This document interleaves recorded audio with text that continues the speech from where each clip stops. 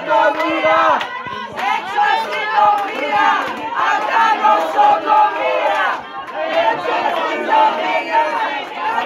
Και αφού, ναι, αφού λοιπόν είναι αυτή η, απάντησή του και η αντιμετώπιση του, καταλαβαίνουμε όλοι ότι αυτά που προτείνουν και αυτά που θέλουν να φέρουν μόνο καλύτερα δεν είναι. Χειρότερα είναι. Για το λαό μας σημαίνει, ειδικά για τους ψυχικά πάσχοντες, που είναι ένα ιδιαίτερα ευαίσθητο κομμάτι και το ξέρουμε όλοι εδώ που δουλεύουμε στο νοσοκομείο κάθε μέρα. Και πόσο περνάει ο καιρός, δυστυχώς αυξάνονται. Σημαίνουν ότι θα έρθουν μαύρες μέρες, ακόμα χειρότερες. Μαύρες μέρες θα έρθουν και για τους εργαζόμενους.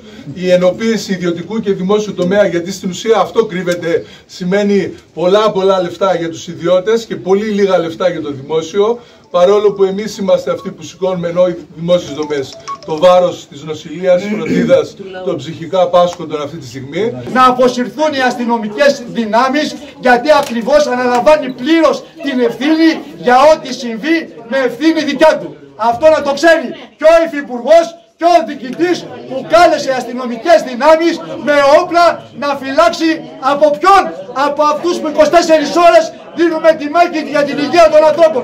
Τροπή τους, έσχος, ξεφτύλα. Δεν τρομοκρατούμαστε, δεν φοβόμαστε. Την απάντηση σήμερα την πήραν από το Ηράκλειο. Στέλνουν μήνυμα αισιοδοξίας σε όλους τους μαχόμενους υγειονομικούς σε όλη την Ελλάδα να μην σκύβουν το κεφάλι γιατί το δίκιο κρίνεται στους δρόμους και μόνο έτσι θα το καταφέρουμε.